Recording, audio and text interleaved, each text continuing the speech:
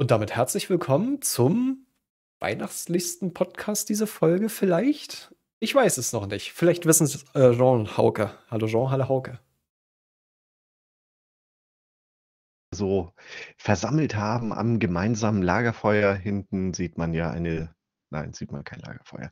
Aber ja, schön, äh, dass es wieder so geklappt hat und, äh, auch zum letzten Mal Fuchsflash dieses Jahr. Genau, dass du gleich wieder so negativ reinhängen äh, reingehen musst. Scheiße. Also, das ist mir denn überlassen. Also, ihr sagt nur die positiven Sachen und ich, äh, werfe denn solche Dinge mal rein, um die Stimmung so ein bisschen zu dämpfen. Nicht, dass es heute zu euphorisch wird. Absolut, so ist das. Auch einen schönen Abend, äh, von meiner Seite aus. Auch einen, äh, schönen Abend an Markus und Ingo. Die sind ja schon fleißig im Kommentieren. Es ist Podcast, meine Kerle. Absolut. Und, äh, wir sind natürlich, äh, perfekt vorbereitet hier. Da. Perfekt. Ähm, ich muss sagen, ich, äh, feiere den, äh, das Tuxflash-Logo immer noch sehr drauf auf dem T-Shirt. Mega cool. Ja, ich traue mich gar nicht, ein neues zu entwickeln, wie ich es eigentlich vorhatte, weil das T-Shirt Mhm. dann nicht mehr aktuell ist. Also, nur leicht verändern, sodass man Klebestreifen drüber machen kann, so wie ich das ja bei der Tux-Tage-Tasse gemacht habe. Ich habe hier die 2022 Edition und ich habe hier einfach so 'n Stück Klebeband genommen und, äh, aus der einen 2 eine 3 gemacht. Also, vielleicht so was Einfaches, dass es, ähm, keine Ahnung Ja. leicht zu modifizieren ist. Ne, ihr habt ja beide schon meine ersten oder meinen ersten Entwurf gesehen. Also, hm, ich weiß noch nicht. Ich weiß noch nicht, wie wild das Ja. das dann wird, aber wir werden sehen. Aber ja. Sah schon mal ganz gut aus, fand ich. Ja, ja, ja. Fand ich Ja. ganz gut. So wie die neuen Logos von SUSE. Ja, ja, ne? Ja, schauen wir mal. Oh ne. Wir wollten doch zum Jahresende nicht so Nicht so negativ das starten.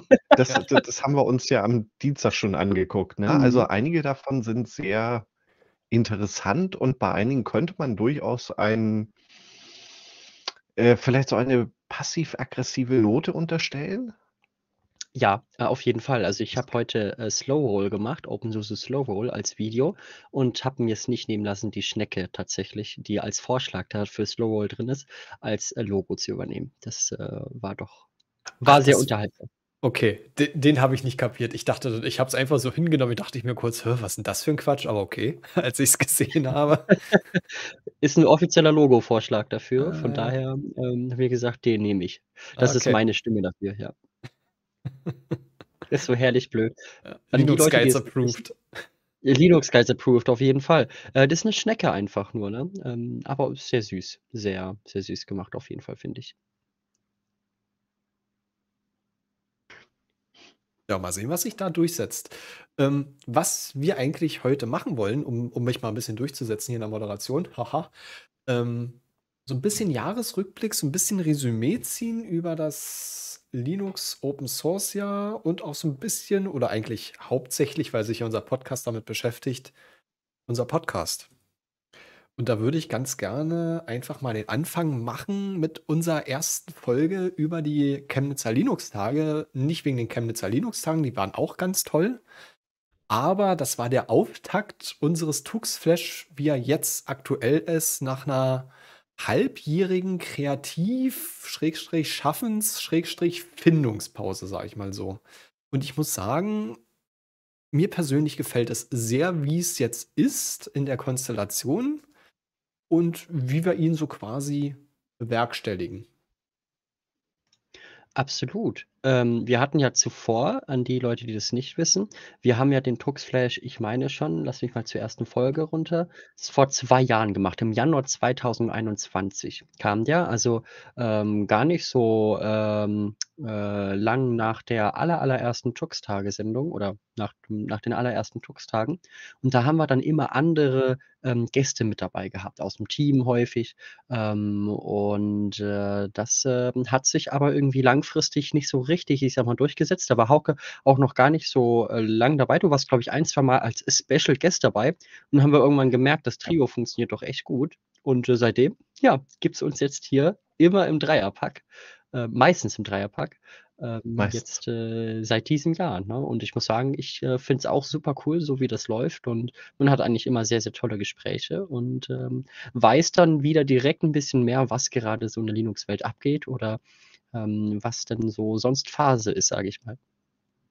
Genau. Also veröffentlicht war die Folge zumindest auf Spotify am 22.03. und die DLT waren irgendwie am 19. rum und ich glaube, Aufnahme war dann, oh, lasst mich nicht lügen, 20. Kann das sein? Müsste. Das kann gut sein, das weiß ich gar nicht mehr so genau. Muss ich mal im Kalender nachschauen. Also frag mich nach gestern. Ich, ich weiß es echt nicht mehr, wann, wann das losgegangen ist. Irgendwann dieses Jahr halt. Ja. Ja. Ne, aber da, das passt ja eigentlich immer ganz gut. Ne? Also unsere Filterblasen, die doch schon äh, eine sehr große Schnittmenge haben, die ergänzen sich dann ganz gut und wir kommen doch auch relativ schnell von einem Thema zum nächsten, ohne dass wir es merken. Und ähm, ja, solange wir alle unseren Spaß dabei haben, würde ich sagen, ist die Mission erfüllt. Mhm. Ich meine, der erste ähm, Tuxflash im neuen Gewand müsste am 30. März aufgenommen worden sein. Jedenfalls steht er da bei mir drinnen. Ähm, aber vielleicht äh, habe ich auch was übersehen. Nee, Nee, nee, nee, am nee, nee. 16. 16. sehe ich hier. Ja, da ist äh, was eingetragen, 19 Uhr. Das wird da wohl gewesen sein, am 16. März. Mhm. Ne, wie gesagt, ich habe ähm, die Spotify-Liste vor mir offen von unserem äh, Publishing-Tool und ich habe quasi mit dem Reboot auch die Folgentitel signifikant verändert, damit ich weiß, wann das Reboot war. Das stimmt. Und wir haben seitdem einen super coolen Hintergrund, ne, den wir, der sich hier immer jedes Mal ändert. Und äh, dich gibt es tatsächlich nur in, beziehungsweise nicht nur, sondern hier im Fenster, sag ich mal, wenn man das als Video sieht oder als Livestream. Und äh, wir sind hinter so einem ganz, ganz schicken grünen, hin- hinter einer ganz schicken grünen Wand, die man tatsächlich sieht. Ne? Vielleicht Hm. kann man sich auch mal eine wirklich schöne Webcam-Ecke einrichten. Bei mir ist es jetzt aber wirklich nicht so schön. Das ist äh, vor allem die Decke. Ähm, wenn Leute bei mir das erste Mal reinkommen, sagen sie, was für eine scheiß hässliche Decke hast du denn? Ja? ähm, aber tatsächlich, die ist perfekt für die Aufnahme, weil der Schall dämpft sich tatsächlich ziemlich gut und von daher ist es fast wie im Tonstudio hier. Es sieht halt so einfach eine, nicht so gut aus. du hattest so eine haarabgehangene, oder? Mit so Zwischenplatten, war das nicht so vom, Ja, genau, so Ja, die sind sehr Zwischenplatten, die gut. dann auch so, so ein paar äh, Löcher drin haben, die den Schall auch sehr gut dann fangen. Ne? Ist schick, aber, also, nee, nicht schick, ne? aber für den Sound auf jeden Fall ganz brauchbar. Aus Akustik-Ingenieurstechnischer Sicht ist das schon gut gelöst, sagen wir es mal so. Mhm. Ja, also Ja, das, gut. das, also der Auftakt mit dem, wie wir es hier gemacht haben, fand ich sehr, sehr gut. Also das, das war wirklich so der, der Beginn der neuen Ära. Und den Hintergrund, so wie wir ihn jetzt haben, den behalten wir immer. Ich kann nur recht schnell die Farben ändern. Also ich finde, der ist so am besten. Wir haben ein bisschen rumgespielt, aber irgendwie finde ich den so am, am besten passendsten. Hat auch am meisten Bezug zu den Tux-Tagen, muss man ja sagen. Ne? Das ähm, haben Ja. wir ja auch mal eine Zeit lang gehabt. Wir haben ihn immer noch wieder, diesen Sternhintergrund, aber wir sind da ein bisschen abwechslungsreicher mittlerweile geworden. Ich glaube, weil wir uns alle nicht so richtig entscheiden können, was jetzt denn der, der einzige, der einzig wahre Tux-Tage-Hintergrund ist. Ist ja auch nicht so wichtig. Nö. Also, ja, wir, wir nehmen jetzt erstmal den Hintergrund eine Weile, bis er mir selber nicht mehr gefällt. Sag's mal so. Ja. Also, erste Podcast-Folge über die Chemnitzer Linux-Zeit, die, wie gesagt, die waren auch ganz interessant. Ähm, da konnte ich mal ein paar andere Personen in, in Persona, sage ich mal, sehen. Ein paar andere Personen in Persona, ein paar andere Personen real treffen. Ähm, das war schon sehr, sehr interessant. Die, den einen Vortrag, in dem ich noch Platz gefunden habe, der war auch ganz interessant. Beim Rest hat ja, war ja recht schnell der Hörsaal voll. Das fand ich dann eher, hm. Konnte man sich da noch ein bisschen mit, mit den Standbetreibern unterhalten. Das war auch ganz schön. Ja, Ist wie Familientreffen, wobei ich die Kilux viel familiärer finde als äh, die CLT. Ne? Also ähm, würdest du wahrscheinlich auch, oder würdet ihr alle unterschreiben, denke ich. jetzt kann ich es auf jeden Fall. Jetzt kenne ich den Unterschied. Mhm. Liegt allein schon an der Größe. Ja, ganz klar. Also, ne? also Chemnitz ist ja, äh, also ich war ja nicht da dieses Jahr, aber von dem, was er erzählt hat, ist es deutlich kleiner geworden als die Jahre davor, also vor Corona. Also, aber es ist ja trotzdem immer noch sehr, sehr groß und wahrscheinlich die Ja, größtsprachige Veranstaltung in Deutschland oder sogar im deutschsprachigen Raum. Also von daher, ja. Würd würde ich würde ich sogar sagen, ich war zwar nie im Vorarlberg, ich glaube, da in der Nähe ist noch was. Und ich glaube, Graz gibt's noch was, aber ich glaube, die sind beide jetzt auch nicht so riesig wie jetzt die CLT. Ansonsten, ich glaube, so viel gibt's ja nicht mehr, ne? Wir haben ich glaube, die Tübix gibt's noch, da war ich auch noch nicht. Ansonsten, äh, Augsburger Linux-Infotag, Frostcon oder Froschcon in hier, ähm, Bonn beziehungsweise St. Augustin, Kilox, Chemnitzer Linux-Tage und ich glaube, das war's schon so ganz grob. Oder kennt ihr noch welche in Deutschland beziehungsweise im deutschsprachigen Raum? Allen Live-Veranstaltungen? Ähm, also jetzt so übergreifend mit Linux Na, nicht. genau, Also es ja. gibt äh, diese Spez äh, Spezialmessen, die Richtig. sich um ein spezielles Thema drehen. Ne, also ich glaube, damit haben wir es auch, oder? Micha, haben wir noch was? Nee, du, ich war nach äh, CLT und Kilox raus. Anderen, ja, wo er es erzählt hat, kam mir bekannt vor, aber eingefallen wären sie mir nicht. Absolut. Ansonsten gern mal in die Kommentare schreiben, ähm, wenn wir da was ausgelassen haben, dann äh, eventuell ich versuche so langsam alles irgendwie mal abzugrasen, jedenfalls ein paar Mal und dann einfach mal zu schauen, was sich so ergibt. Weil eigentlich habe ich alle fast alle, ähm, mit denen ich jetzt mehr zusammen mache, auf Konferenzen getroffen. Ja, das, äh, ist ziemlich cool. Mhm. Und von daher, ja, lohnt sich das schon, würde ich sagen, so für die Kontakte vor allen Dingen. Und einfach auch immer neue Eindrücke zu sammeln. Ich weiß nicht, wie es euch geht. Ähm, ich selber mein Ziel ist es immer so 1, 2 Ziele oder Learnings aus, äh, aus so 'ner Veranstaltung mitzunehmen, aus so 'ner kompletten Veranstaltung. Dann reicht mir das, mehr kann ich eh nicht umsetzen. Und, äh, genau, wenn ich das erreicht habe, dann ist der Rest einfach noch mal Bonus obendrauf. Aber jetzt schweifen wir ja schon fast wieder ab, ne? Ich Ja, bin hier ja. jemand, ähm, den den muss man ziemlich im Zaum halten von den Themen, ne? So, ja, jetzt sind wir schon wieder ganz woanders. Ja, ist ja ist ja nicht verkehrt. Das ist ja quasi so 'n Jahresrückblick. Also, ähm, kann man ja Mhm. einfließen lassen. Also, wenn du nicht ganz off topic bist, dann lasse ich dich auch erst mal laufen 'n Stück. Ja, sonst mute mich einfach hart, ja. So, jetzt ist mal jetzt ist äh, Mhm. weg. So muss das. Ja. Also, Ja. Unsere nächste Folge war unser KI-Talk und KI als als Thema an sich ist dies Jahr ja relativ ra rasant gewachsen, möchte ich meinen. Also, auch bei mir hat jetzt so 'n Mhm. bisschen oder haben jetzt die KI-Tools Einzug gehalten mit Stable Diffusion XL. Hauke, b du beschäftigst dich ja immer noch von uns dreien, ich glaube, mit am Ja. meisten damit, was was nicht verkehrt ist, weil von dir kommen immer, ähm, die Vorschaubilder für für die Thumbnails. Mhm, genau, ja. Also, äh, du hattest auch eins gemacht. Ich meine, das zu Firefox, das äh, hattest du mal generiert. Aber die anderen, die man Hm. immer rechts unten da sieht, ähm, Außerhalb die, des äh. Podcasts habe ich noch eins gemacht zu dem Franken Ah. Fällt mir Also grad noch ein, ja. äh, das war auch richtig cool. Also, äh, was man damit so machen kann. Also, es ist ein tolles Werkzeug, vor allem für Leute, die jetzt so nicht so künstlerisch bedarft sind, äh, die vielleicht auch nicht mit irgendwelchen Programmen wie Blender umgehen können. Da kann man ja auch wirklich tolle Sachen mitmachen. Aber das dauert ja auch 'ne gewisse Zeit und, äh, diesen Pinguin, die du da äh, den du da für diese Frankenstein-Linux-Folge gemacht hast also, wenn man das jetzt in Blender oder im anderen 3D-Programm hätte bauen müssen, das hätte sehr lange gedauert. Also, wenn man gut ist, vielleicht 'n Tag, schätze ich mal. Und wenn man keine Ahnung davon hat, dann dauert so was ewig. Und, äh, das kriegt man dann relativ schnell generiert, äh, mit 'n paar Stichworten. Dann fällt da so was raus, was ganz gut aussieht. Äh, natürlich ist auch 'ne Menge, äh, Müll also, wird 'ne Menge Müll generiert. Da war vor dem Stable Diffusion XL, was ja das noch mal viel, viel besser gemacht hat da war deutlich mehr Müll bei, bei dem, was ich generiert habe. Aber, ähm, ja, das das funktioniert jetzt eigentlich sehr, sehr gut schon. Also, vorher hatte ich gesagt, 100 Bilder generieren, 5 sind so irgendwie halbwegs okay und 2 davon kann man wirklich nehmen und den Rest schmeißt man hinterher weg, weil's irgendwie Mist ist. Und dieses Verhältnis ist deutlich besser geworden.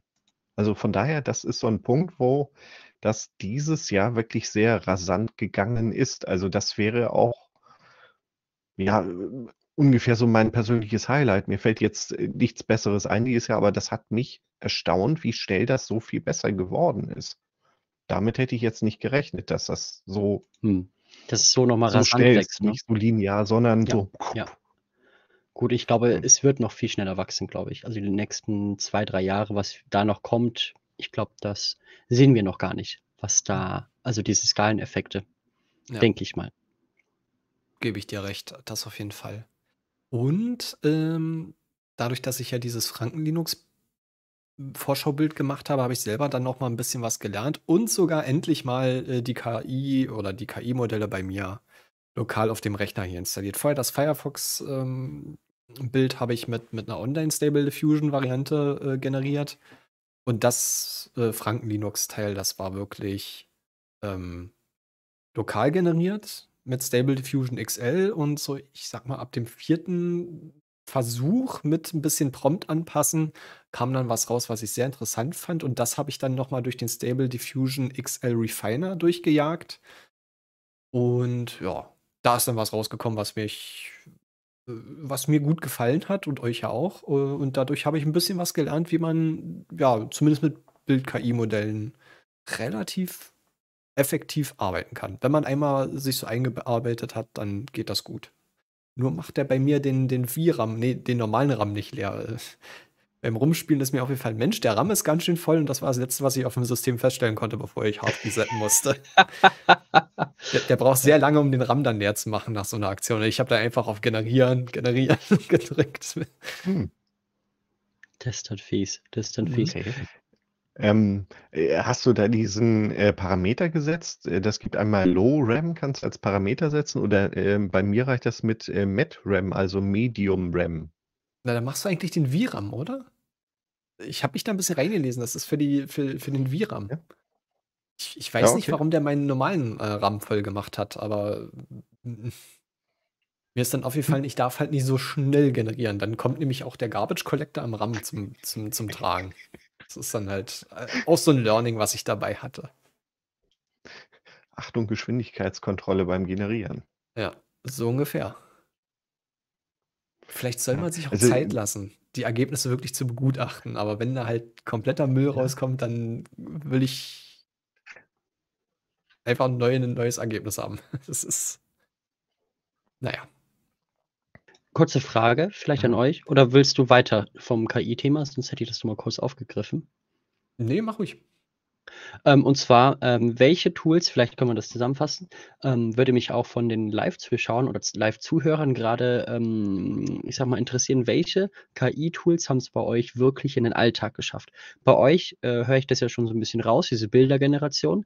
Bei mir beispielsweise gar nicht. Also ich habe noch nie ein Bild selber generiert, sage ich mal. Ne, das habt bis jetzt immer nur ihr gemacht und ich habe es, wenn dann, übernommen. Ähm, so für meine Thumbnails und so weiter habe ich das bis jetzt noch nie gebraucht, weil gefühlt ich mir immer alles so zusammenbauen konnte, aber vielleicht ne, bin ich da auch ähm, am, ja, habe ich einfach die falschen, den, den falschen Fokus in der Hinsicht. Aber wofür ich mir diese Bildergeneration gut vorstellen kann, ist, ihr kennt doch sicher solche Apps oder Web-Apps oder irgendwas in der Hinsicht, wenn man sich einloggt und so weiter oder wenn ein Fehler ist, dann gibt es ja manchmal solche einfachen Grafiken. Ähm, wo dann irgendwie bei YouTube ist es so ein Affe, der irgendwo dran rumhämmert oder ne, ähm, gibt es ja die verschiedenen Grafiken und äh, das könnte ich mir vorstellen, dass ich das äh, mal selber verwende. Aber ansonsten so, bei mir hat sich sehr viel Copilot durchgesetzt äh, zum Programmieren. Das nutze ich tagtäglich. Ähm, Macht es auch deutlich schneller, finde ich. Und äh, als zweites tatsächlich Google Bart. Ich habe auch ChatGPT Plus meine Zeit lang gehabt und jetzt nutze ich immer mal wieder Google Bart, vielleicht so drei, vier, fünf Mal die Woche. Ne? Das ist so, was sich bei mir wirklich dann durchgesetzt hat. Bei euch? Sonst noch außer diese Stable Diffusion XL, sage ich jetzt mal? Ähm, die ist upscale, womit man Bilder hochskalieren kann und nicht einfach äh, über diese Algorithmen, die jahrelang bekannt waren mit, ähm, was gab's denn da? Also bei, bei GIMP gibt es ja so verschiedene Arten von Algorithmen, wie ein Bild aufgeblasen wird mit Interpolation oder einfach ähm, denselben Pixel ein paar Mal äh, hintereinander kopieren oder so. Und da gibt es auch, also Upscaly heißt dieses, und da gibt es verschiedene Netze drin, die sich Pixel ausdenken, die ähm, in einer größeren Version wahrscheinlich sein könnten. Und das funktioniert zum Teil auch ganz gut. Das habe ich an einigen Stellen auch mal verwendet.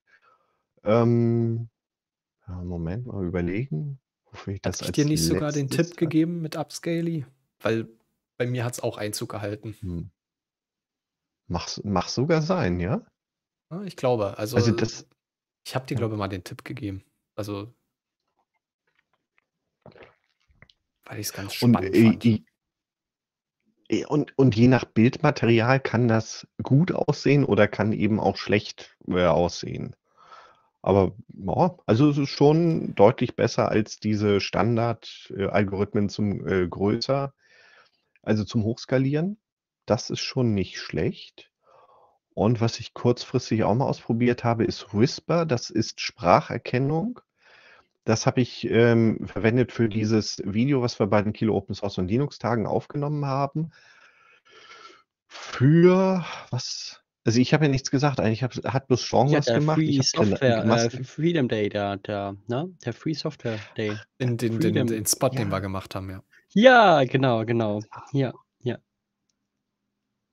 Und da habe ich dieses Whisper drauf Mhm. losgelassen und das nimmt die Tonspur und erkennt ähm, das gesprochene Wort da drin und macht hinterher verschiedene Textdateien draus in verschiedenen Formaten, kann man äh, vorgeben. Unter anderem auch SRT als diese, dieses Dateiformat für Untertitel. Und das hat erstaunlich gut funktioniert.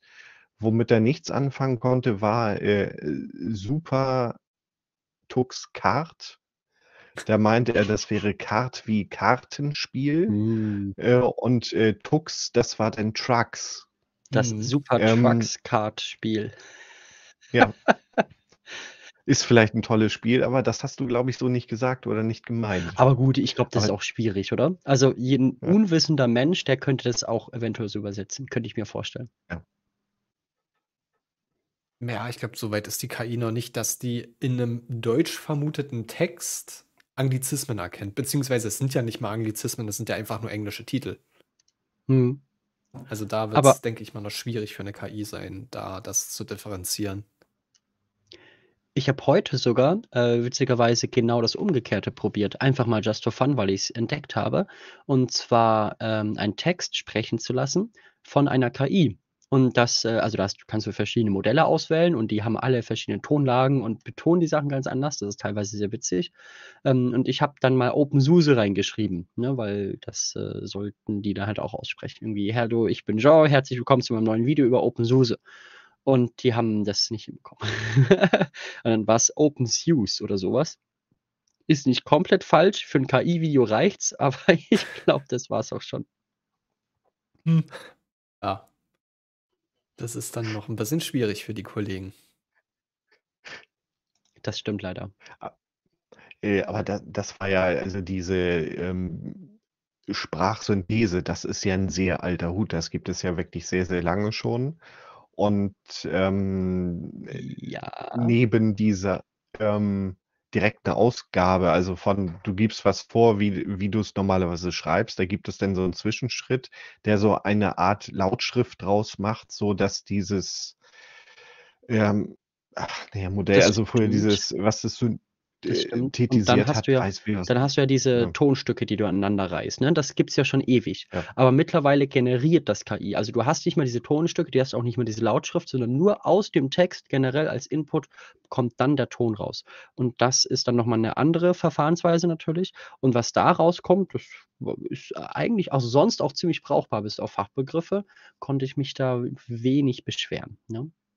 Es geht ja auch super einfach mittlerweile da hast du ja ganze Online-Seiten, wo du von irgendeinem Menschen zehn Minuten Audiomaterial brauchst und dann kannst du den alles sprechen lassen, was, was der, oder was, was du willst.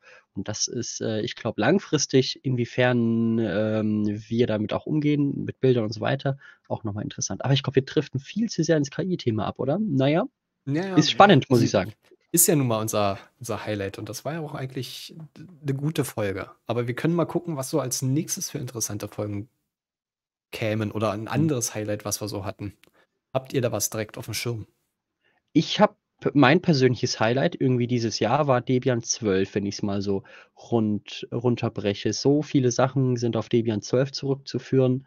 Ähm, viele Serversysteme habe ich auf Debian 12 umgestellt. Ich bin, beziehungsweise nutze eigentlich das erste Mal Debian 12 wirklich als Serverbetriebssystem und löse langsam Ubuntu ab beispielsweise. Aber auch das Desktop-System nutze ich ja schon seit ähm, Weihnachten sogar, Debian 12, letztes Weihnachten. Ähm, noch in der Testing-Phase. LMDE 6 auch nochmal ganz, ganz großes Thema gewesen, auch hier im Podcast. Und von daher würde ich sagen, doch ein großer, großer Batzen war schon Debian 12. Ich weiß nicht, wie es euch geht. Ähm, mir persönlich gefällt äh, die Version und der Schritt, den Debian ja über, unternommen hat, zu Debian 12 hin, das mit der proprietären Hardware teilweise drin, wenn man möchte. Ähm, den finde ich persönlich, ja, ein Gamechanger wie ein Gamechanger, aber er hat Debian eine, in, in einen richtigen Schritt voraus, sage ich mal, gebracht. Also äh, das Tolle an Debian ist ja, wenn sie nicht da äh, irgendwie sehr große Schritte gemacht haben bei ähm, irgendwelchen Bibliotheken oder so, dass es eigentlich sehr entspannt ist, wenn du vorhandene Systeme aktualisierst, äh, von 11 auf 12, da habe ich viele umgezogen. Und ähm, diese KI-Sachen, die mache ich jetzt auch auf einem Debian 12. Also das ist mein Desktop-System und da kann ich nebenbei den Stable Diffusion laufen lassen oder andere Sachen. Und dadurch, dass äh, obwohl Nvidia-Treiber gab es vorher auch da drin. Die habe ich ja über Jahre auch schon verwendet, konnte ich einfach nachinstallieren. Aber insgesamt, das funktioniert alles äh, sehr gut. Äh, also auch mit dem CUDA-Teil für äh, die beschleunigten Berechnungen direkt auf der Grafikkarte. Ähm, ja, also in, insofern ist das ein ziemlich rundes System, richtet sich natürlich weiterhin primär nicht, äh, nicht an Anfänger oder an Gamer oder sowas, aber kann man damit durchaus auch machen, ohne dass man jetzt ähm, irgendwie ein spezialisiertes äh, System dafür bräuchte. Also keine Ahnung, hier äh, Pop OS oder äh, was wir da äh, sonst noch mal hatten, irgendwelche Distributionen, die sich speziell an Gamer richten. Also das funktioniert mit Debian jetzt äh, insofern auch ganz gut. Also ich bin damit zufrieden, weil es eben wiederum so unspektakulär ist. Das ist, das ist eigentlich eher das Tolle Das an. Debian und Debian 12. Ja. Der Release selber ist ja super entspannt abgelaufen, wie wahrscheinlich jeder Debian-Release. Ne? Also äh, ich Mhm. glaube, Debian 11 hat super lang gebraucht teilweise, bis es dann da war. Debian 12 war ein bisschen schneller, fixer. Mm, Gefühlt auf jeden Fall. Wie es jetzt real war, kann ich gar nicht wiedergeben. Ich muss aber auch noch mal wirklich lobend hervortun für das Debian-Projekt. Also aktueller oder am, am aktuellen Zeitgeschehen war Debian mit seinem Release bis jetzt gefühlt, zumindest für, meinen, ähm, für meine Auffassungsgabe, noch nie wie jetzt mit Debian 12. Also so aktuell mit den Paketen und trotzdem noch so stabil. Das sieht man auch wirklich, wenn man sich mal so ein bisschen ähm, den, den Verlauf auf, ähm, wie heißt das, DistroWatch anguckt. Debian ist ja noch mal einige äh, Punkte nach oben gerutscht oder einige Ränge in den Top 10. Und das, wie ich finde, zu Recht. Weil ich bin am Release-Tag mit meinem Home-Server eiskalt ähm, sofort nach oben gesprungen ähm, in der Version, ähm, als es äh, auf der Webseite hieß, ist released. Dann habe ich ein äh, Up Update gemacht, weil äh, die Paketquellen hatte ich eh schon an dem Morgen geändert. Ich wusste ja, dass es irgendwann released wird und dann gib ihm und einmal Reboot und dann war alles tippitoppi und ich habe mich gefreut. Und mein Arbeitskollege wäre fast vom Stuhl gekippt, als ich gesagt habe, ich habe schon Debian 12. Wann hast denn du geupdatet auf Debian 12? Der direkt am Tag, wo es rausgekommen ist. Bist du irre? Ja. Ich muss sagen, ich habe ja Debian 12 Testing schon lange genutzt, also als es noch im Testing-Bereich war. Habe ich habe auch. einen Bug mal gehabt, ne? Also aber als äh, Desktop-System, nicht als Serversystem. Wobei ich habe das Gefühl, Serversysteme laufen generell ein bisschen runter als Desktop-Systeme. Ähm, von daher, also sie schmieren nicht einfach mal so ab, was ich jedenfalls seltener hatte bei Serversystemen als bei Desktop-Systemen. Weil wenn du die eingerichtet hast, dann laufen sie. Und beim Desktop-System machst du ja doch immer mal wieder andere Sachen, jedenfalls ich. Und von daher, ja, ähm, ich finde sowieso Debian immer sehr, also das macht ja Debian unbedingt aus und ich glaube, bringt auch der gesamten Linux-Welt nochmal ordentlich Stabilität rein. Stell dir vor, wir hätten nur ein Arch und äh, hier vielleicht noch Fedora. und ähm, mhm. genau, OpenSUSE Tumbleweed, ohne Lieb. kannst du nicht nutzen. Nein, Spaß, ne? Aber ähm, Dann doch wär, lieber Windows. Dann, dann würde ich lieber Windows 11 nutzen, das stimmt. Ja. Hm. Sehr schön. Spaß glaub, beiseite natürlich. Bevor ich auf Windows 11 zurückgehe, installiere ich mir nochmal Garuda. Ah, Garuda. ja. Mhm. Das ist ein Spruch, der auf dem T-Shirt gehört. Scheiß auf Windows 11, nutze Bevor Garuda. Bevor ich mir Windows installiere, nehme ich lieber Garuda Linux. Nichts gegen, nichts gegen, die Garuda-Öse, aber ich habe damit einfach nur Negativerfahrungen gemacht. Und ich, ich, weiß nicht, warum das so gehypt wird. Entweder habe ich persönlich Pech oder nicht. Ich weiß das halt nicht. Man weiß es wirklich nicht, warum sich. Es sind ja manchmal auch so solche Selbstläufer, ne? Man weiß gar nicht, warum das so krass gehypt wird. Ich glaube, das bei MX Linux habe ich manchmal auch das gleiche Gefühl. Also, ich finde es nicht richtig gelungen. Aber viele mögen es. Also auch in meinem Umkreis. Da mögen es wirklich welche. Ne? Aber ich bin, ja, verstehen kann ich es immer noch nicht. Ich bin mir nicht hundertprozentig sicher, aber ich glaube, MX Linux ähm, profitiert sehr vom Debian-Unterbau.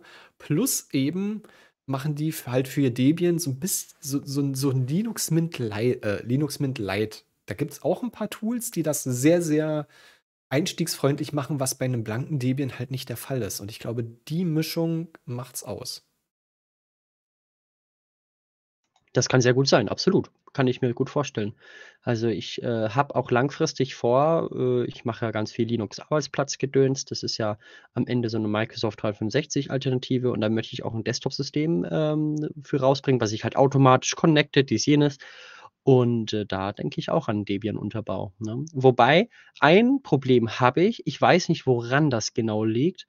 Ähm, manchmal äh, brauch, hängt mein Debian 12, also mein Hauptsystem ein bisschen und hat enorm viel Festplatten, ähm, ich sag mal, Schritte, sage ich mal, oder Festplattenbeanspruchung, ähm, wodurch tatsächlich der Bildschirm immer mal wieder kurz einfriert. Ähm, ich habe das heute noch mal aufm Maximum gehabt, aber dann hat sich herausgestellt, dass es das jedenfalls VirtualBox war. Aber ich habe schon manchmal das Gefühl, es läuft nicht ganz so rund wie jetzt in Ubuntu. Vielleicht sind da irgendwelche Kernel-Parameter noch mal gesetzt, äh, die unterm Debian so standardmäßig nicht sind. Das ist jedenfalls mir aufgefallen. Weiß nicht, hat jemand von euch das Problem auch? Sehr gerne. Ähm, aber gefühlt läuft Debian 12 ein Ticken unrunder vom Kernel her, sage ich mal aber ist vielleicht auch nur meine Hardware-Konfiguration oder einfach äh, meine, äh, ich sag mal, ähm, in, wie heißt das? Mir fällt das Wort gar nicht ein. Ähm, jedenfalls, ich, ich, ich bin so blöd, das einzurichten, so nach dem Motto. Ja. Mir fällt das Wort nicht ein. Kommt sicher mal. Hm. Kann es leider nicht bestätigen, aber ich habe auch Debian nicht auf einem okay. Desktop in, in, der Hinsicht, beziehungsweise kein Debian 12. Ich habe ein Notebook mit Debian Testing. Und da läuft alles, aber ich benutze es auch nicht oft. Schick. Äh, mit Debian 10 hatte ich mal was, äh, also hatte ich was Ähnliches, äh, dass das denn so eine Dauerswap-Schleife war. Also das war aber Mhm. auch irgendein Problem mit dem Kernel, der dabei war. Ich habe das mehr oder weniger so denn akzeptiert. das Gerät war alt, hatte bloß 4 Gigabyte RAM. Naja, ist denn vielleicht heutzutage so? Und als ich dann auf Debian 11 aktualisiert habe, da war das weg. Mhm. Also das Gerät war deutlich schneller mit einer neueren Version von Debian. Also irgendwas muss in diesem Kernel drin gewesen sein, was ja, was da irgendwie nicht richtig funktioniert hat. Also was ich festgestellt vielleicht hast du was ähnliches. Ja, dass der Swap sehr, sehr schnell immer benutzt wurde, wo ich, obwohl ich noch irgendwie 50% frei hatte, hat er schon angefangen zu swappen. Und da habe ich die Swappiness jetzt auf null, glaube ich, runtergesetzt oder sowas. Ähm, das kannst du ja irgendwie einstellen, aber mhm. den Rest, ähm, ja, Hast, das äh, hat mich dann schon überrascht. Hast du dir das gerade vom, vom Ingo oder vom Markus angeeignet aus dem Chat? Debian 12 Swap mehr? Nee, habe ich nicht, habe ich nicht. Okay. Sehe ich jetzt erst. Ja, also äh, kann sein, dass es auch erst ab Debian 12 ist. Also ich habe bei mir die Swappiness runtergestellt und seitdem swappt er quasi gar nicht mehr. Ähm, aber kann trotzdem, ich, ich habe, ja? Kann ich bestätigen. Also, wo ich es gelesen habe, äh, wollte ich erstmal Hauke ausreden lassen, dann hast du ja eingegriffen. Da ist mir eingefallen, ich Trottel. Natürlich habe ich ein Debian 12 als Desktop im Einsatz, nämlich mein äh, Homeoffice-Gerät. Ich habe letztens sogar auf dem ah. Discord noch einen äh, Screenshot gemacht mit äh, meiner Einrichtung des XFCE-Desktops. Da habe ich den Swap ausgemacht. Wisst ihr auch warum? Auch, ja. Nee, weil der selbst beim Nuller-Swappen irgendwann angefangen hat zu swappen. Und zwar so krankhaft krass, ähm, dass da kurz der Browser einfach mal nicht mehr klargekommen ist. Das war ja auch manchmal der Fall. Ja, also mhm. der, der ist dann einfach ein paar Sekunden eingefroren. Also der ganze Desktop. Aber es liegt dann wirklich daran, ähm, dass der irgendwo Swap-Geschichten hat. Auf dem Server habe ich den Swap eh aus, wegen, wegen den Docker-Containern. Die mögen das nicht so, wenn man die irgendwo rein-swappt. Deswegen aber. Würde ich auch nicht wollen. Wo ich es gelesen habe, ähm, ist es mir eingefallen. Da stimmt. Swap-technisch. Okay, krass.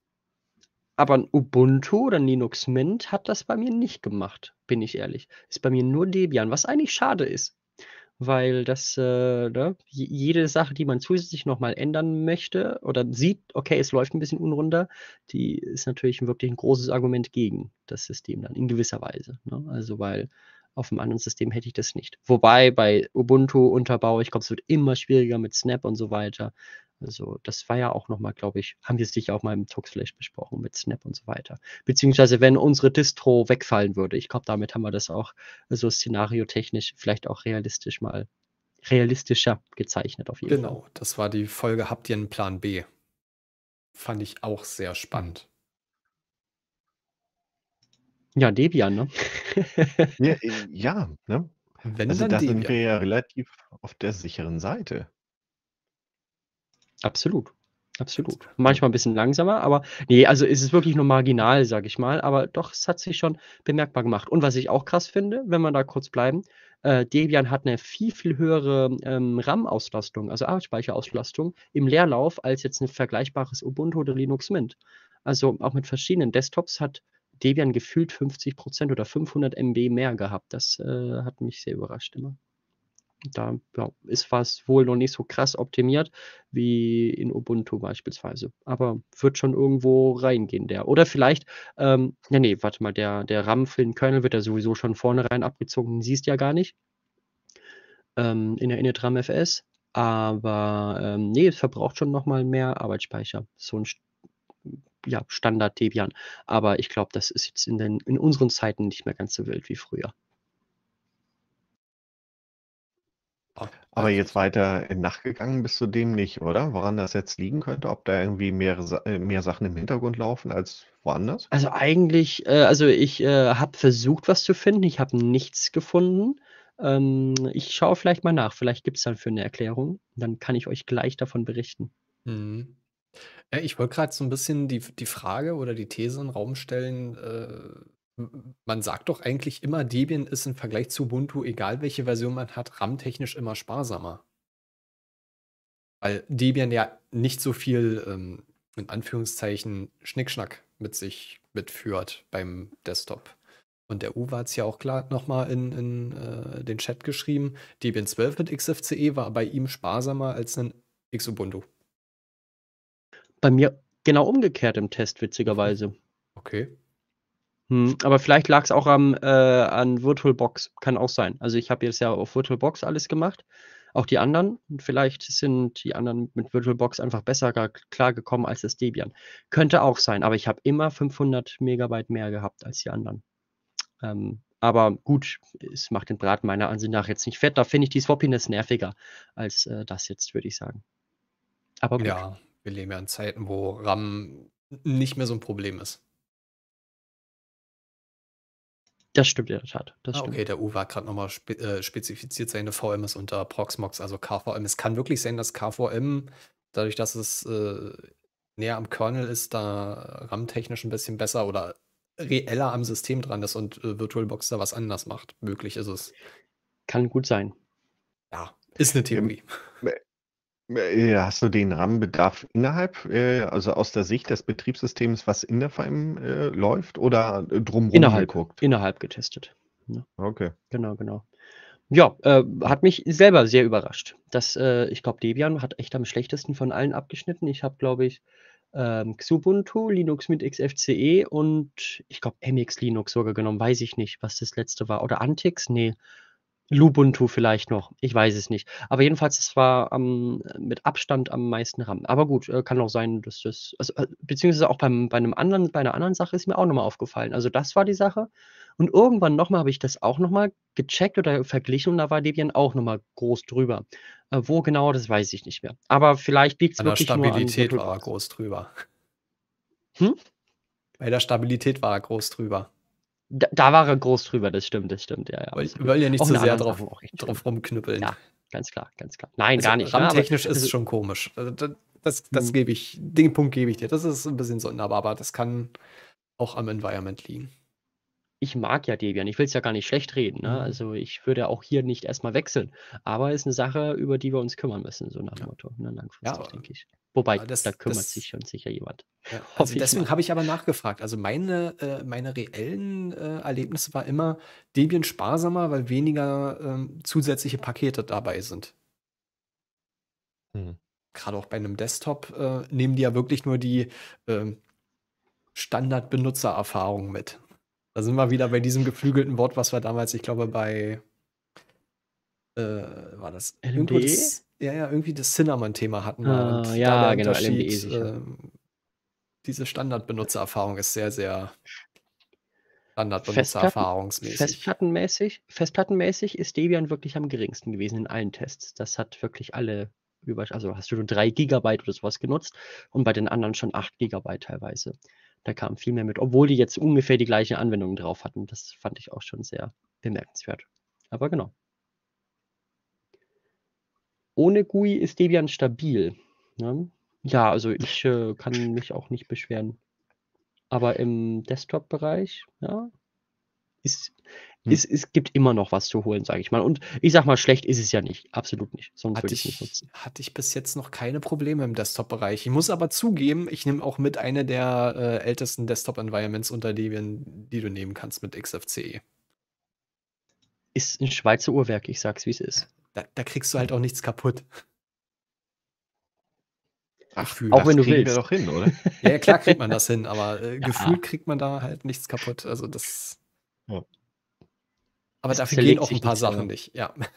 Dafür Mhm. dafür gehen halt wirklich 'n paar Sachen nicht, die echt unangenehm sind mitunter. Das stimmt. Beispielsweise, ich habe heute, äh, OpenSUSE XFCE mal angeschaut, äh, auch schönes System, aber, ähm, was mich genervt hat, diese Fenster, die kann man ja bei den meisten Desktops mit der Super-Taste und Pfeiltasten, ähm, irgendwie einrasten lassen, auf der rechten oder der linken Seite oder so was. Das hat XFCE nicht, beispielsweise, ne? Ähm, oder aber Fensterübersicht. ja, Mhm. Du kannst aber zumindest das so einstellen, dass wenn du, äh, das Fenster mit'm Mauszeiger bewegst, äh, in eine Ecke, dass es dann einrastet. Mit Tastenkombination müsste ich Ich mal gucken, geht. vielleicht geht das. Kriegt man sicher auch hin durch Command, aber das wäre cool, wenn das voreingestellt ist. Dafür ist wenigstens die Super-Taste mit dem Menü belegt.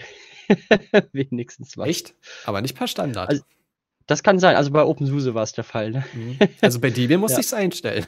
Hm, ja gut, Debian. Das kommt ja auch nur mit Vanilla, XFCE und Ja. dann darfst du ja alles selber machen. Ja. Ja, ist aber auch ihr Versprechen. Das ist das universelle Ja. Betriebssystem. Du kriegst das, was Okay. du, äh, gekauft hast. Also, mach dir dein Betriebssystem selber oder deinen Anwendungsfall. Das da lügen sie ja nicht. Und du kriegst auch nicht mehr, als du gekauft hast. Ist auch schön, ne? Ja. Ist auch nicht so selbstverständlich. Muss Da man ganz klar sagen. da ist definitiv kein Schnickschnack dabei. Mhm. Außer bei Debian GNOME, da sind die GNOME-Spiele mit dabei. Ja. Habe ich bis heute nicht verstanden, aber das das scheint immer noch zum Standard GNOME Desktop Ja. zu gehören oder zur Standardbenutzererfahrung. Aber selbst das schalten sie nicht aus, sondern: „Ne, GNOME bringt uns das so, dann liefern wir das so aus.“ Finde ich auch, äh, irgendwie natürlich auf 'ner anderen Art und Weise sehr sympathisch. Ja. Eine Idee für den Linux Assistant. Äh. Jetzt kriege ich das nicht mehr im Kontext. Äh, äh, kann das vielleicht noch mal spezifizieren, Den was davon 'ne neue Idee ist. den den den Fünfer kriegt er später gerne, ne? Ähm. GNOME-Spiele deinstallieren, wäre das eine Möglichkeit? Ach so, Ja, das? oder Ja. oder oder, äh, Ja. Tastatur-Shortcuts gleich mit installieren oder da war jetzt einiges genannt worden. Ja, cool. Äh, immer gerne per Mail raushauen, beziehungsweise linux-assistant.org, da ist 'n Feedback-Formular. Einfach reinhauen. Ich lese das alles. Ähm, was wollte ich sagen? Ja, genau. Ne, aber, äh, tatsächlich lässt sich XFCE am besten einstellen vom Terminal aus. So 'n GNOME-Desktop über diese Gconf ist furchtbar, wirklich furchtbar. Ähm, so 'n XFCE kriegst du relativ gut über das Terminal konfiguriert und das ist ziemlich schön. Per Skript meine ich, Mhm. automatisiert. Fenster einrasten hat er noch mal geschrieben. Das wäre 'ne gute Funktion. Mhm, das stimmt, ja. Ja. Da da musst du aber auch wirklich den den richtigen Haken setzen. Ich glaube sogar, damit das bei XFCE ich habe es vor 'n paar Wochen gemacht, damit dieses Einrasten funktioniert in diesen einzelnen Ecken, wenn du da, äh, das Fenster hinbewegst, das ist bei den, ähm, Einstellungen für die Barrierefreiheit sogar drin. Da würdest du's nie vermuten. Das heißt doch ganz wild. Verstehe ich irgend nicht. Ja, muss ich irgendwann mal einen, äh, raus raussuchen, wie das hieß und wo das versteckt war. Also, du kommst nicht drauf, wenn du direkt danach suchst, nach der Funktion. Das ist aber häufiger bei XFCE so, finde ich. Ja, Auch ich mit der muss Fenster-Dings und so. ich ich muss da echt im XFCE-Forum im Englischen suchen und dann ja. Nach was Hm. suchst du da auch auf Deutsch? Also, Ja. das ist Ja, ja. Auch so die so die Leisteneinstellungen, die finde ich auch 'n bisschen also, es geht alles, aber bis du gefunden hast, wo du was machst, das ist da brauchst du mal 'n bisschen Zeit. Da sind die anderen etwas intuitiver, würde ich mal Ja. sagen. Aber Aber wenn du einmal Güte. weißt, wie's geht, Ja. kriegst du da richtig schöne Sachen draus gezaubert. Ja. Also, äh, Ja.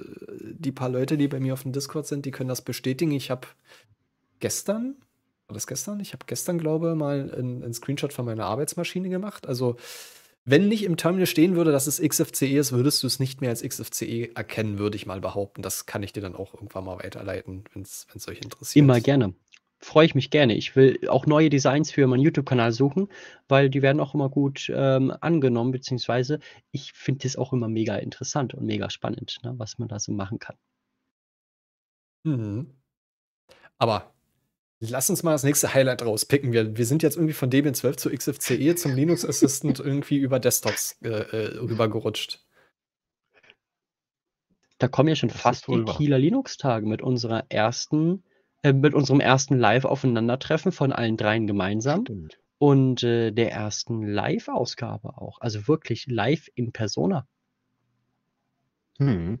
Mit Publikum vor allem, ne? Das hatten wir so Mit ja auch noch nicht. Unglaublich, dass sich wirklich reale Menschen in einem Ort versammeln und sich so was angucken, wenn 3 andere irgendwelchen Quatsch reden. Es sind doch nicht nur 'n Das war Flop von ein unseren Mammis. Erlebnis. Ja, Ja, ähm, ja, stimmt. ne, ne, also es war sch war schon interessant, w wobei das wahrscheinlich tontechnisch eine der eher schlechteren Folgen war. Aber letztendlich haben wir's ja doch ganz gut über die Bühne gekriegt und, äh, ja, also das war schon schon ganz nett, fand ich so. Wir haben auf jeden Fall fürs nächste Mal wir gelernt. Ähm, Ja. äh, Linux Open Source in der Arbeitswelt, wie kriegen wir's noch besser integriert? Welche Hm, war auch 'n Möglichkeiten haben wir? spannendes Thema, Ja. ne? Stimmt. Mhm. Ne, ansonsten gab gibt's da noch groß was zu sagen? War cool. Wir haben, äh, cool, äh, un unsere unsere ersten Fangeschenke bekommen, muss ich sagen. Das hat mega viel Spaß gemacht. Ähm, viele Das Grüße an den stimmt. Markus und den Ingo noch mal an der Stelle, ne? Die sind natürlich heute auch direkt, äh, nicht nicht in Persona live dabei, aber im Chat. Immer schön. Genau, danke noch mal an der Stelle. Ja, also Kieler, äh, Open Source und Linux Tage war dann auch so, äh, mein Highlight mit von von von von den Veranstaltungen. Ähm, war ja für mich auch das 1. Mal und ich muss sagen, also nächstes Jahr bin ich wieder mit dabei. Das da kann man äh, wie sagst du immer, Kiel ist auf jeden Fall 'ne Reise wert? Oh, und dann im Nebensatz, je nachdem, äh, komm äh, äh, das stimmt nicht unbedingt, aber ich sage es trotzdem. Irgendwie so. Kiel ist immer eine Reise Also wert, ja. Mhm. also es es gibt, äh, äh, so Bereiche, wo sich das durchaus lohnt und andere so: „Ne, lass mal lieber.“ Aber während der Kieler Open Source und Linux Tage ist Kiel natürlich eine Reise wert. Das ist wohl wahr. Nur deswegen. Mhm. Ja. Ja.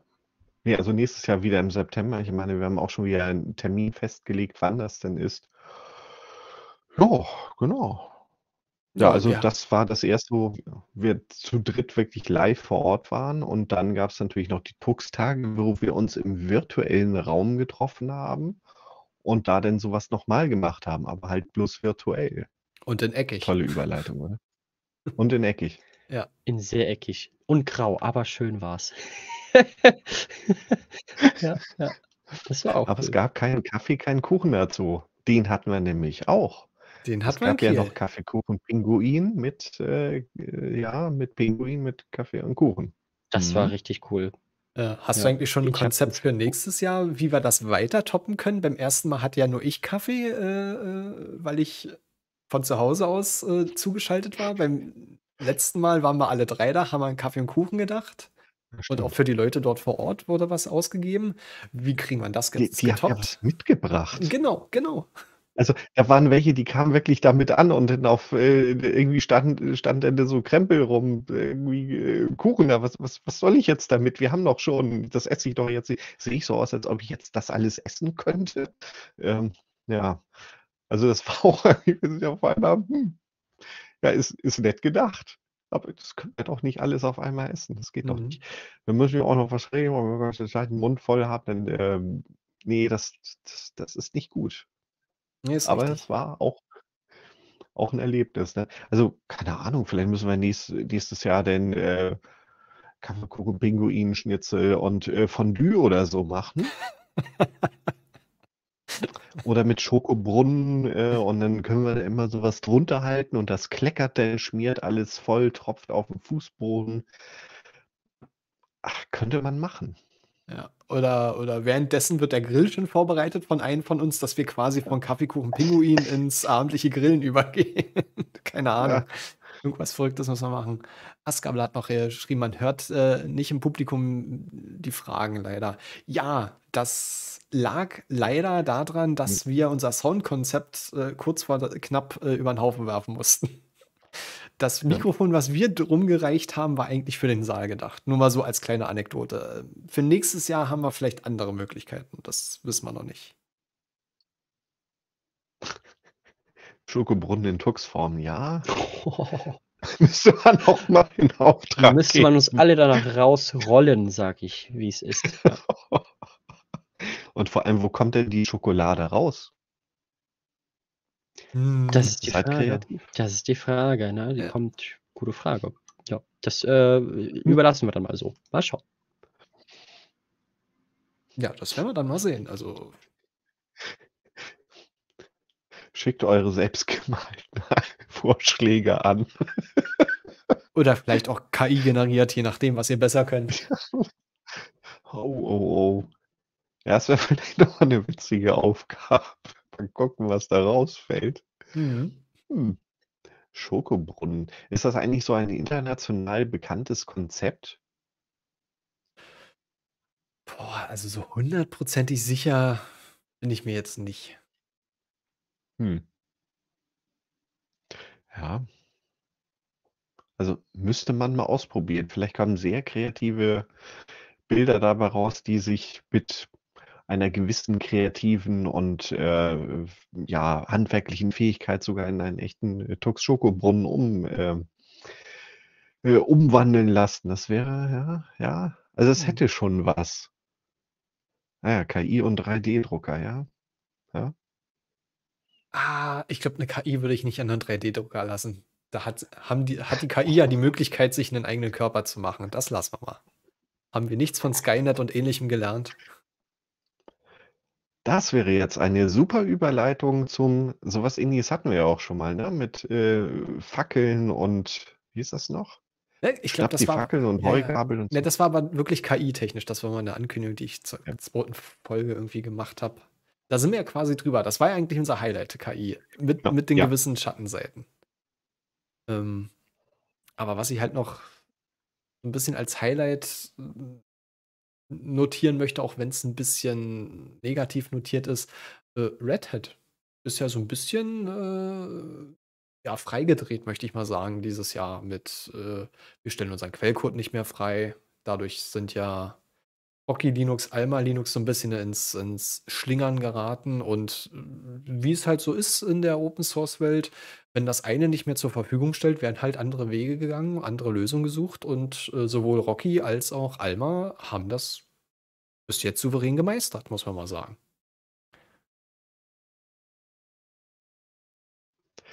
Äh, ja, also Äh, im Nachhinein, äh, könnte man das von außen betrachten so so sehen, na ja, das ist 'n bisschen blöd gelaufen für die, ne? Also, das war bestimmt nicht so gedacht, dass sich da jetzt so eine erweiterte Szene drumrum bildet, auch aus, ähm, Unternehmen, die man jetzt so zusammen nicht gesehen hätte. Diese OpenELA-Organisation aus, ähm, SUSE und Oracle und Rocky? Die 3? Rocky, Oder wer wer sitzt da zusammen im. Boot? War noch 'n SUSE und Oracle, da bin ich mir ziemlich sicher und es gab noch 'n Ja. 3. Aber war's 3. Könnte nicht man jetzt relativ schnell nachgucken. unbekannt sogar?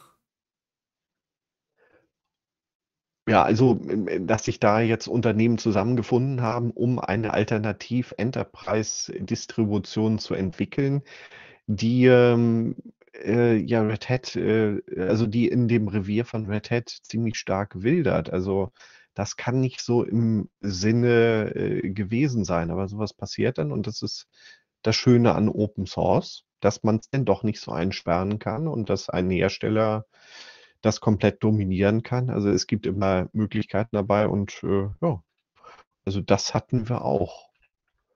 Also, auf dem OpenELA-Bild siehst du SUSE, Oracle und C, I und Q. C CyQ. Hm,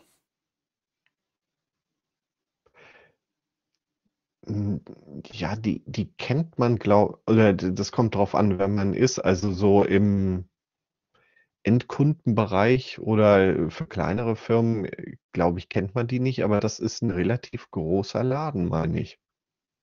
Ja, wie gesagt, also, der Name so sagt mir gar nichts. Ja. CyQ, Oracle, SUSE. Ja. Ach so, und d die machen auch für, äh, Rocky direkt Werbung oder empfehlen Ah, das. siehst du, Also, das dann dann war da so 'n zu. bisschen die die Rocky-Brücke, die ich im Kopf hatte. Ja, also schön, dass es diese Möglichkeiten gibt. Ja, also, da hat sich Red Hat 'n Eigentor geschossen. Also, irgendwie, äh, i ich glaube, der Titel war, äh, OpenELA und die Geister, die Red Hat rief. Also, das war definitiv anders geplant von denen. Mhm. Äh, das da da kam die Schelle recht recht schnell zurück. Das war sehr interessant. Äh, apropos, vielleicht kommen wir dann doch noch mal kurz zum News-Thema. Habt ihr schon gelesen, dass, äh, äh, RHEL, ähm, Xorg als deprecated markiert hat und geschrieben hat, dass es in den nächsten Versionen rausfliegt? Also, Red Hat sagt jetzt, äh, oder gibt für sich bekannt, wann, äh, Xorg abgeschafft wird. Krass. Sind die sind die Ersten, die mutig sind. W was für 'n Termin hatten die jetzt? Äh, also, gibt's wirklich ein richtiges Nein, Datum? nein, ein Datum gibt's nicht. Die Schade. haben nur geschrieben, in den zukünftigen Versionen fliegt das raus. Die haben aber gestern oder Hm. vorgestern wirklich sämtliche Xorg-Pakete als deprecated markiert. Also, nächste, übernächste Version wird's g unter RHEL kein X11 mehr geben. Unter der 10er Version oder unter so einem, äh, Point Release? 9, keine Ahnung, 5, Ich denke mal, 6, so 'ne Sch 7 oder so? ich denke mal, so 'ne Sprünge machen die, äh, nur noch bei Hauptreleases. Hm. Also, ja. Also, wird auf jeden Fall interessant, sonst hätte ich mir diesen Termin schon mal irgendwo eingetragen, um den garantiert nicht zu verpassen, um zu sehen, äh, wie groß der Aufschrei dabei ist.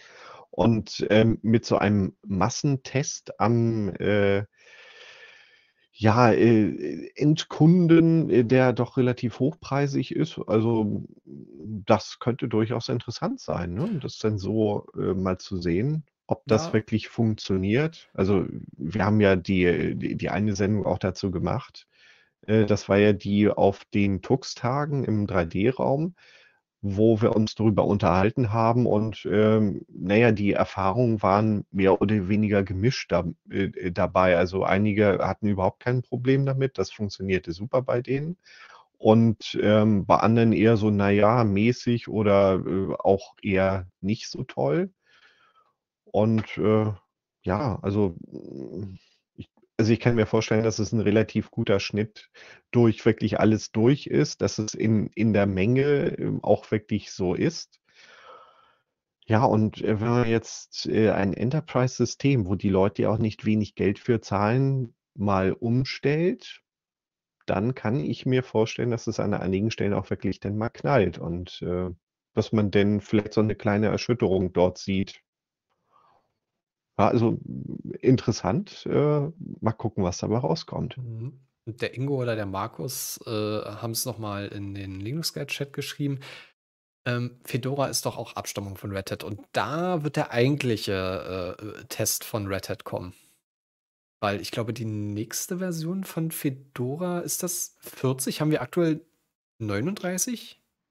Wir haben aktuell 39. Und mit der Ähm, also 40 40er die und, nächste. und der neuen KDE-Version haben die ja auch äh, in Fedora gesagt, der Standard ist Wayland. Aber da müsste, glaube ich, Genau. noch Xorg verfügbar sein. Ich weiß jetzt Nee. nicht. Xorg unter KDE nicht mehr. Achso, ist komplett raus. Ähm, Standard ist ja immer schon Wayland jetzt die letzte Zeit gewesen. Ich weiß nicht, wie es bei KDE war, aber bei KDE ähm, fliegt Xorg komplett raus. KDE 6 wird es nicht mehr, jedenfalls auf äh, Fedora, mit ähm, Xorg geben. Und äh, das andere, das Gnome, da wussten, oder da ist man noch in der Entscheidung, okay, nehmen wir das jetzt schon raus oder äh, belassen wir es noch drin? Ich hoffe, sie lassen es noch drin, sonst habe ich wieder einen Grund, äh, nicht äh, Fedora zu nutzen. Ja, was natürlich schade wäre. Aber mal schauen.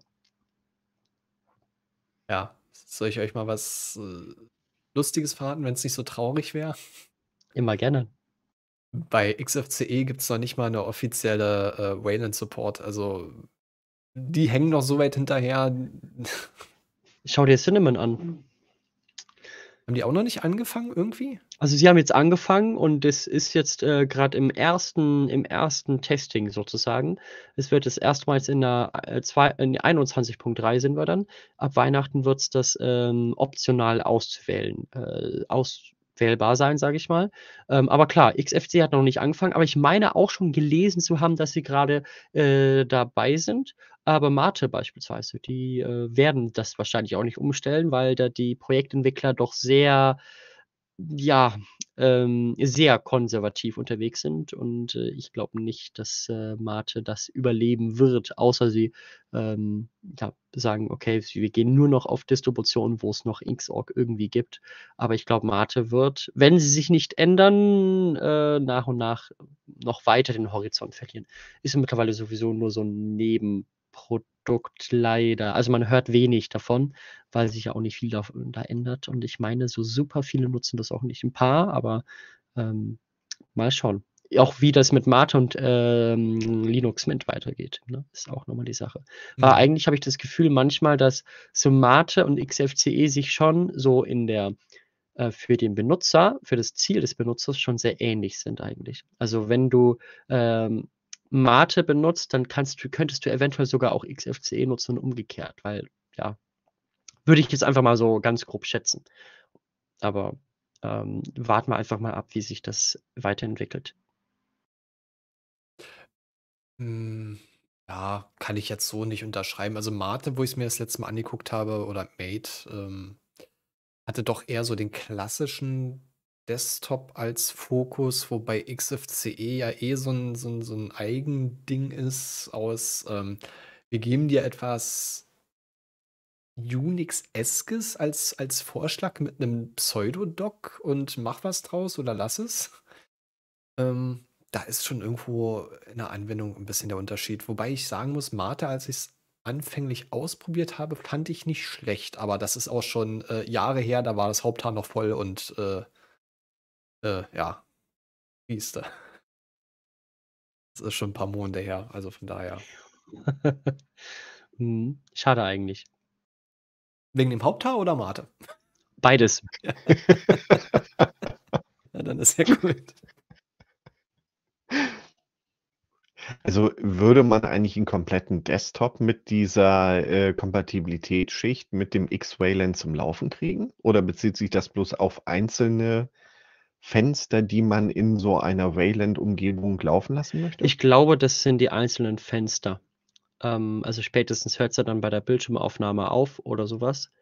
Dann bist du ja bei Wayland aktuell immer noch häufig einfach aufgeschmissen. Das dauert viel, viel länger.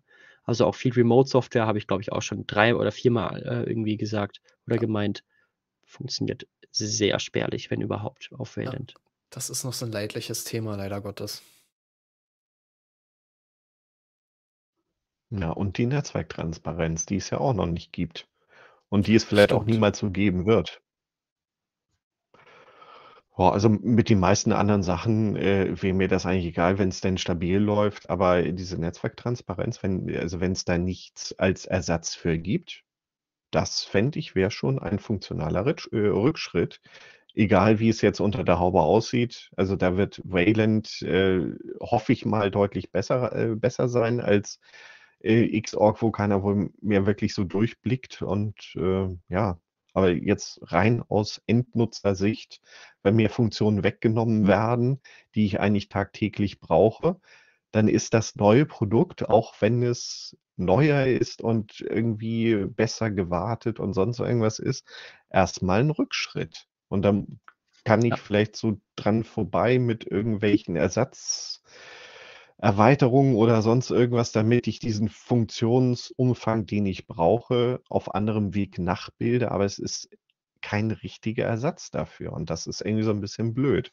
Und gerade diese Netzwerktransparenz, äh, die verwenden doch einige äh, wohl immer noch, auch wenn das ja ein uralter Hut ist, zum Teil auch im äh, Gewand von X2Go, was ich häufig verwende, oder es gibt auch das kommerzielle von ähm, Namen vergessen, diese italienische Firma, die äh, da eine Menge gemacht hat. Ja, also das, das ist irgendwie blöd, ne? Und Apropos blöd, ich muss mal blöd nachfragen. Was meinst du mit Netzwerktransparenz? Meinst du das, das Konzept beim X11 zwischen ähm, Server-Client, dass du auch einen X11-Forwarding machen könntest, zum Beispiel über äh, SSH? Oder? genau. Okay. Ja, Nee, ja. das, das, das fällt leider weg Also- bis jetzt. Okay. Hm. An Anwendungen auf einem entfernten System ausführen und ich kann es denn lokal bedienen, also wie äh, Fernwartung so ungefähr. Oder Also für XLDP. diejenigen, die es das nicht. Ne? Also Fernwartung Äh, ist ja auch genau das eigentlich, ne? Oder ähnlich. Äh, Ja, wobei du da ja Nee. keine einzelnen Fenster dir mal so eben Richtig. rüberholen kannst. Hast du nur einen kompletten Also Desktop. das, das, das wäre so ein, naja, ist kein richtiger Ersatz, aber äh, zur Not könnte ich mit sowas leben, aber das andere ist so wunderbar praktisch und es funktioniert Ich einfach. meine das ja auch, dass XLDP wahrscheinlich auch erstmal so nicht laufen wird mit Wayland. Also steckt ja schon im Namen, ne? Ist der X-Server drin. Und äh, das ist auch wieder eine Sache. Also ich glaube, da ist noch so viel Anpassungsbedarf. Und äh, das, äh, ich finde den Schritt von Red Hat, äh, das als deprecated zu markieren, ähm, eigentlich richtig. Weil wir müssen irgendwie von weg und es muss auch langsam mal, ich glaube, wir lassen uns auch alle ein bisschen Zeit, glaube ich, oder viele jedenfalls. Und ähm, solange sie es jetzt nicht rauspacken, ich denke, ist das okay. Aber ähm, ich gehe mal davon aus, also Linux Mint wird, ich meine, Xorg wegwerfen 2026, so wie es aktuell aussieht vom Mhm. Stand her. Ähm, und bis dahin müssen wir dann mal schauen, dass das alles läuft. Ähm, und ich glaube, so ungefähr könnte ich mir das bei Red Hat Enterprise Linux auch vorstellen. Vielleicht sind ja auch erst 28 dran. Aber ich denke, wenn eine 3 vor, davor steht und äh, wir noch alle viel weniger Haare haben, ich glaube, dann äh, ist Bitte nicht. Xorg äh, Geschichte, ja. ja, Dann stimmt, bei dir. Aber auch ab. das, das, das, das will ich gar nicht, das wollen wir nicht. ja. Ja. Ich muss mir auch noch eine Alternative zur X11 VNC, was ich eigentlich äh, immer nutze, um mich remote drauf zu verbinden. Ähm, naja. ja, wird spannend, wird spannend alles. Hm. Und da gibt es, glaube ich, noch nicht so richtig coole Sachen, die man wirklich gut nutzen kann. Mhm. Also es wird irgendwann irgendwas geben oder vielleicht gibt es auch schon jetzt irgendwas, aber ja, es ist auf jeden Fall eine Umstellung. Vielleicht ist es hinterher sogar besser, man weiß es ja nicht. Aber hm, erstmal so eine grundlegende Funktion wegzureißen, ist immer irgendwie schlecht. Äh, Ich glaube, Micha, du hattest das äh, in dem Tux-Flash da auf den äh, Tux-Tagen so ähnlich formuliert wie äh, das Nachfolgeprodukt muss mindestens genauso gut sein wie der Vorgänger. Denselben Funktionsumfang haben. So- Oder so, ja. Und das hat es leider noch nicht. Aber muss man gucken, wie das bei den Enterprise-Kunden denn ankommt. Ich kann mir Hm. vorstellen, dass die etwas konservativer sind und dann äh, vielleicht doch etwas mehr rumjammern als die Fedora-Nutzer, die äh, doch, Die bringen eh kein Geld, ja, also, also, von daher ist es ja egal. nee, die, die bringen kein. Geld und die wissen ja eigentlich, warum sie Fedora verwenden. Also Ja, die genau. wollen immer das neueste Zeugs haben und äh, die nehmen auch äh, ja, Änderungen in Kauf, die vielleicht nicht immer alle positiv sind. Aber ja. Also Ja, von daher, das äh, das wird spannend. genau. Aber, ähm, vielleicht ist es auch genau der richtige Weg, um einfach mal den Druck zu haben oder die die die die Nötigkeit, auch mal Sachen in die Hand zu nehmen. Wenn Red Hat jetzt schon sagt in zukünftigen Versionen gibt's das nicht mehr.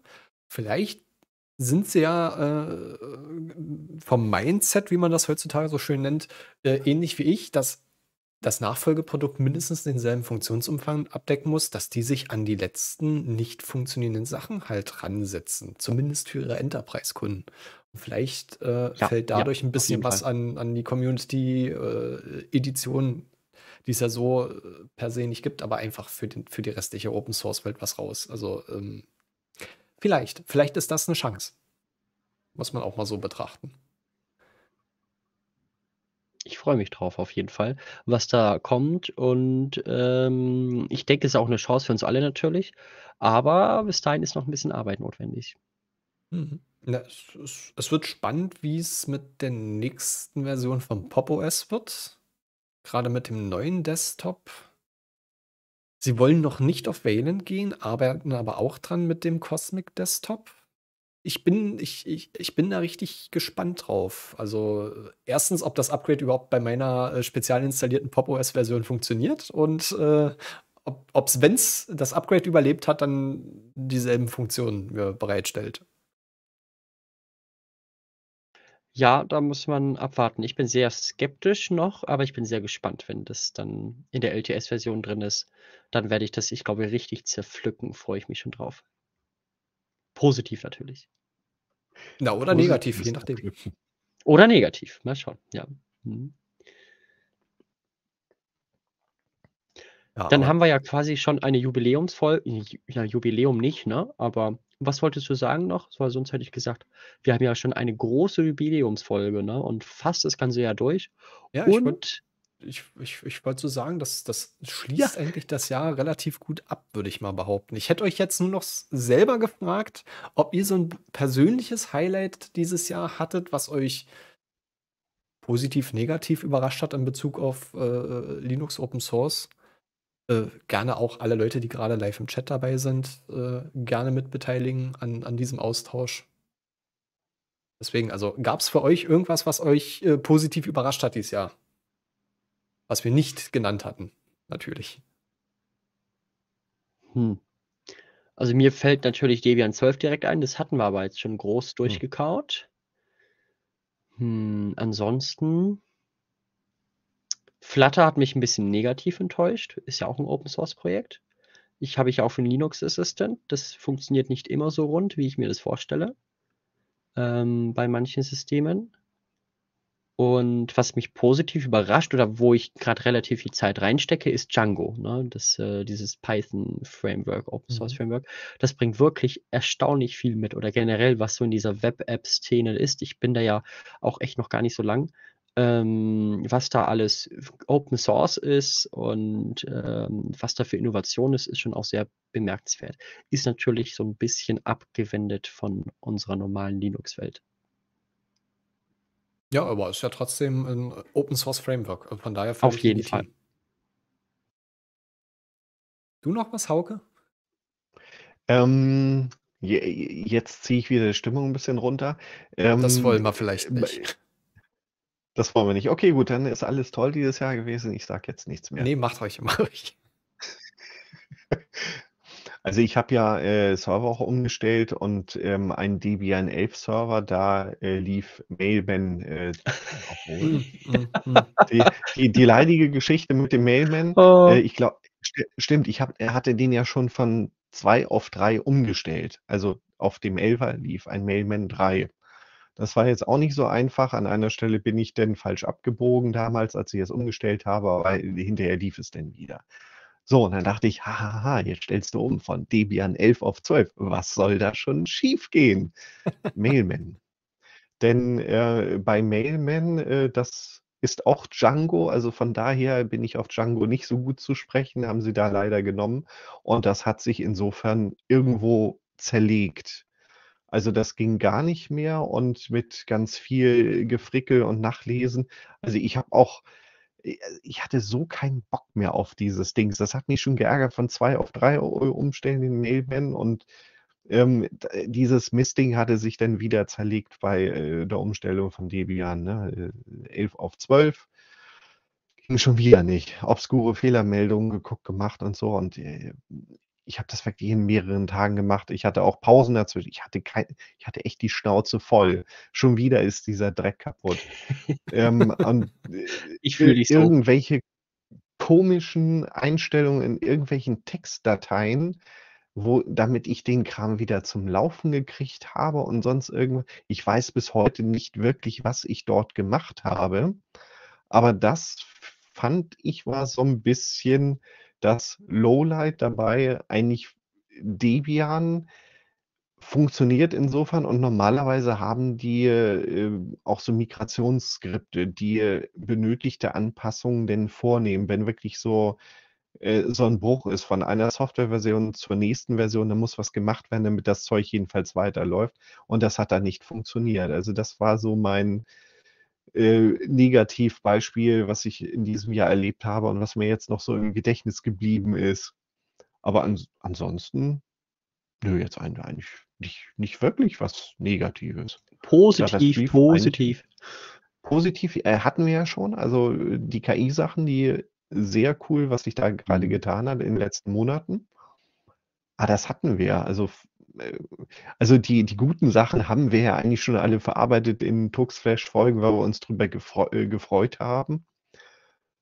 Und ähm, ja, also wirklich viel ne Negatives.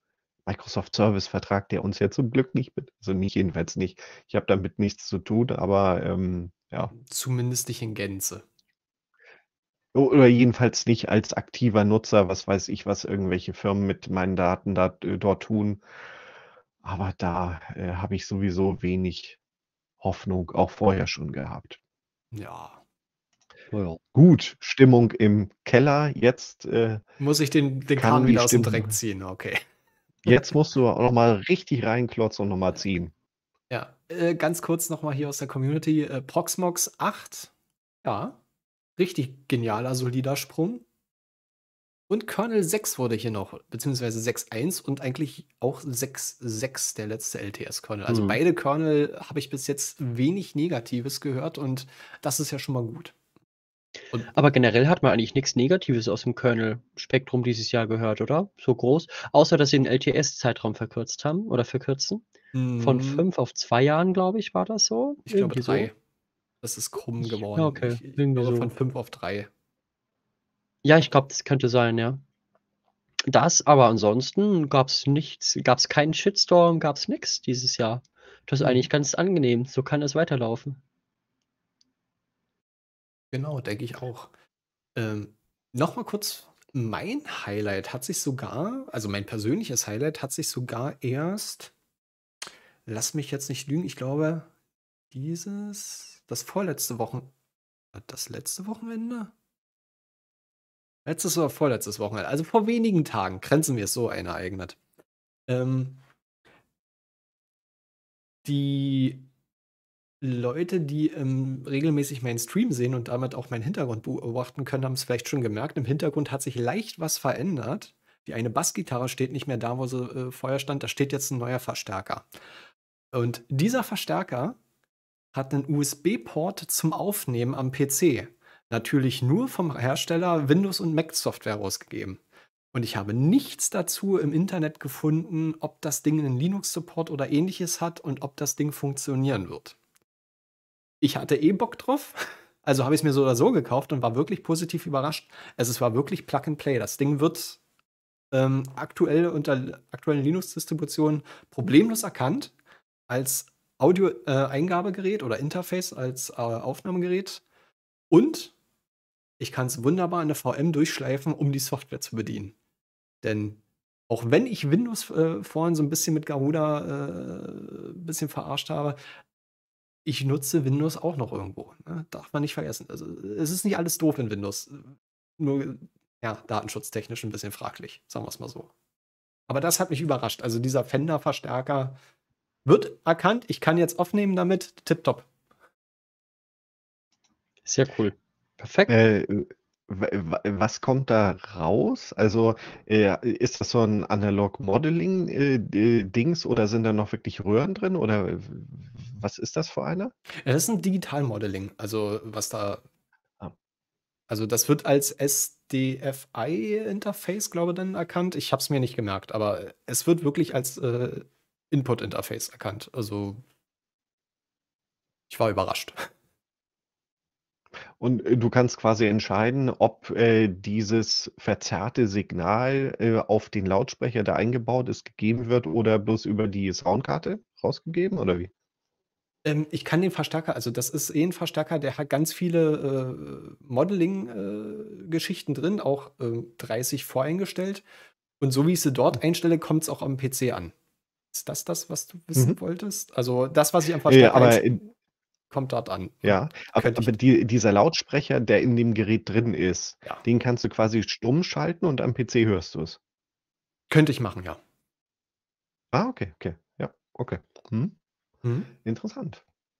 Eigentlich gar nicht blöd, die Idee, ne? Also Effektgerät plus Deswegen, also Soundkarte also, und Lautsprecher. Ja. Also allein wegen den Effekten und wegen dem äh, deutlich, ja. deutlich besseren Qualität äh, habe ich mir geholt. Und da ist ein Stimmgerät drin. Also ich habe hab jetzt einen Kleinort weniger hier sinnlos rumliegen. Alleine dafür hat es sich gelohnt. Nein, Quatsch. Also ist natürlich deutlich effektvoller, einen Verstärker hinzustellen, als wenn du in der Vitrine ein Stimmgerät hinlegst. Also das macht optisch doch schon deutlich mehr. Mhm. Das macht auch äh, audiotechnisch deutlich mehr. Ja. Allein schon vom Schalldruck. Auf jeden Fall. Die Nachbarn freuen sich. Hm. Das doch so. Na, wobei, das, das, hält sich Gott sei Dank alles in Grenzen. Der steht ja nicht umsonst ja. weiter oben, damit die Nachbarn unten drunter äh, nicht so viel äh, Vibrat Vibrator abbekommen, sagen wir es mal so. Mhm. Ja, also das war mein vorgezogenes Weihnachtsgeschenk dieses Jahr. Und in diesem Sinne, oh, freuen wir uns, denke ich mal, alle auf Weihnachten. Und ja, damit würde ich auch einfach mal sagen, das war jetzt eine recht lange Folge, aber das war auch eine gute Folge, dass wir mal das Jahr resümieren konnten und ich denke mal auch schön abschließen. Auf jeden Fall. Ich bedanke mich ganz, ganz herzlich ähm, fürs Zuschauen, fürs dabei sein dürfen und zuhören und äh, genau. Ja, also ähm, habt eine schöne Weihnachtszeit, kommt gut ins neue Jahr und verpasst natürlich nicht den nächsten Tuxflash, den es dann gibt im irgendwann im Januar. Irgendwann so Mitte Januar vielleicht. Je nachdem, hm. wie ihr Lust und Zeit habt. Da äh, genau. denke ich mal. Oh, hier, Highlight Raspberry Pi wurde noch äh, kurz reingeschoben. Ja, ah ja, den Fünfer. Genau. Ja. Raspberry Pi 5. Habe ich nicht 5 gesagt? Ich meine, steht sogar so drin. Ja. Der ja, kam überraschend. Drin, also das, also ich habe auch noch keinen in der Hand gehabt und äh, ja, ich weiß nicht. Also wirklich eine Verwendung habe ich mhm. dafür auch nicht, aber es ist bestimmt ein tolles Stück Technik, aber es fehlt im Moment eher so am äh, Bedarf dabei. Ja. Mhm. Also ich habe nur noch die, die Vierer und meine NAS funktioniert nur mit dem Vierer. Naja. Ja. Hm. Ja, das sind Luxusprobleme, ne? Ach, das Genau. funktioniert immer noch. Da kann das nicht mal kaputt gehen, damit ich eine, ähm, eine Ausrede habe, dass ich jetzt unbedingt was Neues brauche. Nee, das soll bitte nicht kaputt gehen. Ich habe mir jetzt äh, extra noch eine, 'ne 'ne Knopfzellenbatterie bestellen müssen, weil die kein Elektrogerät hier äh, vorrätig hat, damit ich diese Realtime-Clock äh, von diesem NAS-Board benutzen kann, damit ich auch die NAS nur noch laufen kann, wenn die Backups-Jobs durchgehen. Das ist so eine schöne Ergänzung zu meinem äh, Stromsparen beim HomeLab äh, Vortrag von den Kilux. Aber kommt jetzt erst dran. Keine Ahnung. Vielleicht mache ich was draus, vielleicht nicht.